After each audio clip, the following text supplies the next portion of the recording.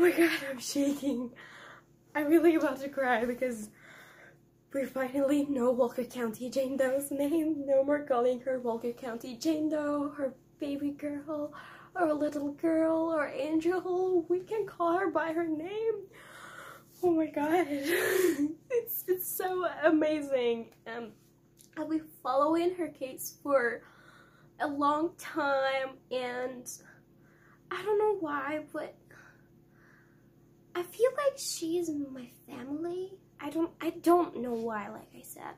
So I just felt like I've I found a missing family member. Well, her name was Sherri Ann Jarvis. Oh my god. I, I can't even find the words. I just wanted to give you the news. So it's been only nine minutes since we learned her name. But I will definitely make another video about her since she's so, so, so special for me. Also, I'm so sorry for the quality. I just learned it. I was just, you know, studying and then I saw the news and I was like, I must tell everyone about this. So here I am making a very, very short video to inform you about Sherri.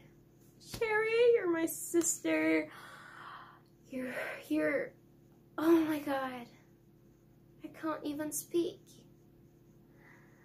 I loved her so much and knowing that she's finally identified makes me feel amazing. So that's all for now, but I will definitely share details soon.